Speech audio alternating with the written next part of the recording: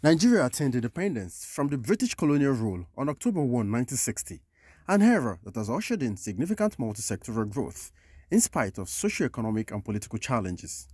To commemorate the nation's 64th anniversary and reaffirm its commitment to Nigeria's unity and progress, the leadership of Surulere local government held a celebratory event that was well attended by council officials, community leaders, as well as pupils and teachers across various schools. The municipal chair, Bamidele Yusuf, described the 64th independent anniversary as another milestone in the history of the nation, acknowledging the sacrifices of the nation's founding fathers. I'm delighted to be here today again making the 64th Independent Day anniversary of our great country, Nigeria.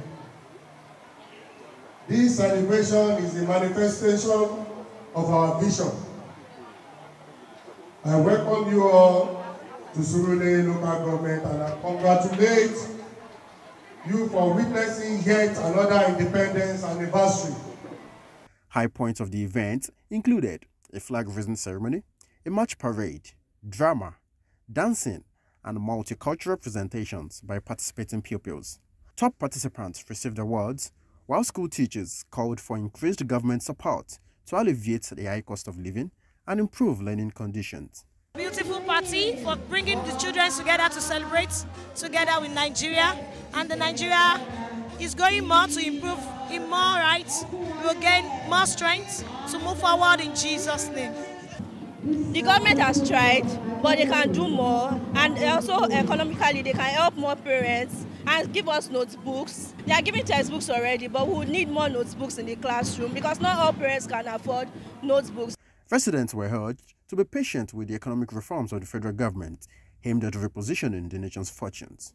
Thank God, today we have seen a president who is solving the problems head on.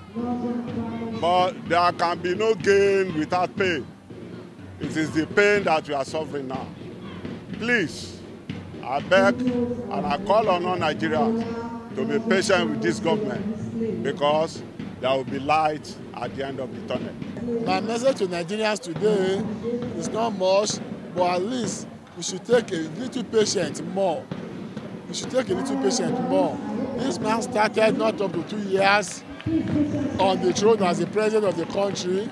If he can get those one he has got done now achieved today, I think by God's grace he will do more than those who have been there as our president in the past. What Mr. President said this morning, we have not reached our destination.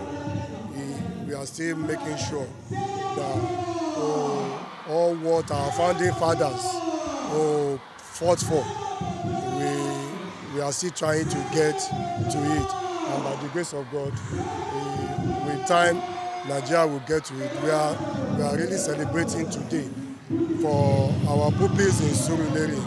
Uh, as you all know, Surulere, we have 42 primary schools.